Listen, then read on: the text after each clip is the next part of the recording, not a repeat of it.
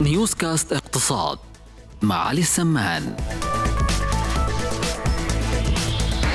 وإلى ثاني ملفاتنا المطروحة للنقاش اليوم مستمعينا في نيوز كاست اقتصاد من العربية فهم شركات الأدوية تهمل إنتاج مضادات المضادات الحيوية الجديدة. فما هي الأسباب؟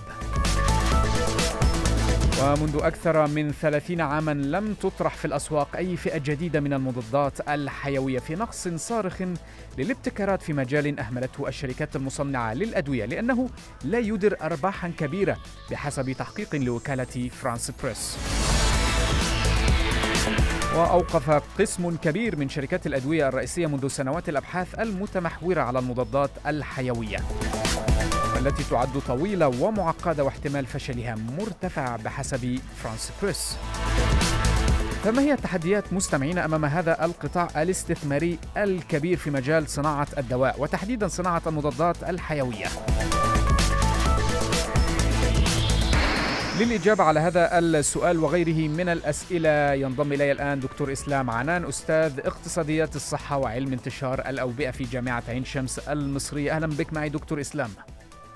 أهلا وسهلا صباح الخير. صباح النور. هل بالفعل بدأنا يعني نشعر بشح فيما يتعلق بإنتاج المضادات الحيوية الجديدة؟ ده صحيح ويعني شكرا على المقدمة. هو بالفعل الإنتاج لأي مضاد حيوي أو أي دواء بياخد في غضون 10 سنين ل 15 سنة. مم. لو بنتكلم في مثلا تقريبا 10000 تجربة عشان يطلع منها دواء واحد ناجح. طبعا بعد الذكاء الاصطناعي قلت بس لسه طبعا الوقت ده طويل. هل بالفعل لا تدر ربحا دكتور إسلام؟ يعني فيما يتعلق بأرباح المضادات الحيوية وإن كانت يعني بهذا الشكل لماذا من وجهة نظرك؟ هي في سببين، السبب الأول إن المضاد الحيوي كفكرة ابتكارية هي قليلة إن إحنا نجد حاجة ناجعة وفعالة أكتر من اللي طلع بالفعل لأن عدد البكتيريا اللي موجود حاليا هو ثابت ما بيتغيرش. فالمنافسة شديدة جدا ده السبب الأولاني. السبب الثاني إن إنتاج المضاد الحيوي بعد ما تخترعوا الشركة في 15 سنة ويتكلف تقريبا مليار يورو بيبقى سهل جدا تقليده. فبالتالي المنافسه في السوق سواء كان الأسواق اللي بتحمي حقوق الملكية هيبقى في منافسة شريفة مم. وكل حاجة قصاد بقية الشركات. ولكن مم. معظم البلاد في اللي إحنا بنسميها الأسواق الناشئة هي عندها قانون بيحمي بما انها أسواق ناشئة إن هي ما تبقاش متبعة ل حمايه الملكية الفكرية. فبالتالي أول يوم بينزل في مضاد حيوي ثاني يوم بتلاقي الشركات المحلية ابتدت تصنع نفس الدواء فبالتالي هو بيبتدي يخسر فلوس. فابتدوا يتوجهوا لحاجة بيسموها الأدوية البيولوجية ومعظم الشركات الكبرى ابتدت انفست وابتدت تحط استثماراتها في الأدوية البيولوجية زي أدوية المناعة وأدوية السرطان وتقلل المضاد الحيوي. للأسف إحنا حاليا بسبب هذا الموضوع وبسبب إن الجسم الإنسان البشري والبكتيريا ابتدت تبقى أقوى بيموت بيتوفى على مستوى العالم في حدود مليون و200 ألف شخص. كل عام بسبب إن البكتيريا اللي موجودة حاليا هي بكتيريا مضادة للمضاد الحيوي. نعم. بيسموها سوبر بكتيريا وبتؤدي للوفاة. نعم. هل من الممكن أن تمدنا دكتور إسلام بإحصاء حول معدل إنتاج المضادات الحيوية خلال العام الجاري؟ وما هو المعدل الذي من المفترض أن تكون عليه الآن من قبل الشركات شركات الأدوية الكبرى؟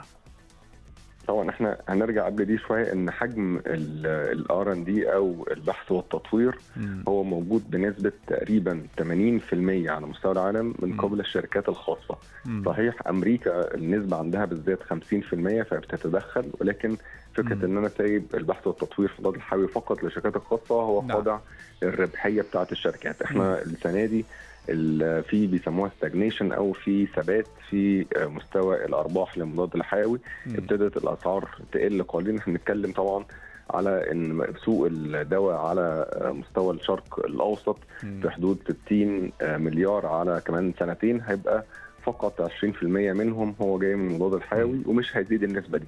فكله باصص على sorry 2% كله باصص على النسبة الكبيرة واللي هي 10% تقريبا على سوق الأورام والسوق للأدوية الحديثة البيولوجية.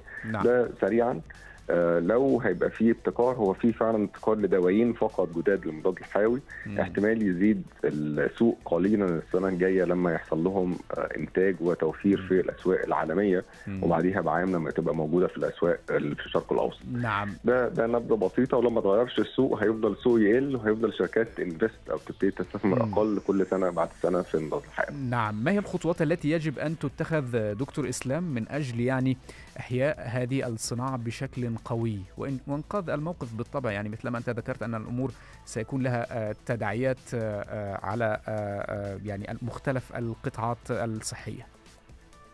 أول حاجة تدخل الدول في البحث والتطوير لأن إحنا طول ما إحنا سايبينها لربحية الشركات تحققهم هيبقى دايما خاضعه لحساب الربح والخسارة. ولكن تقع حاجة عليها مسؤولية كبيرة أيضا. أليس كذلك؟ الشركات الكبرى تحديدا.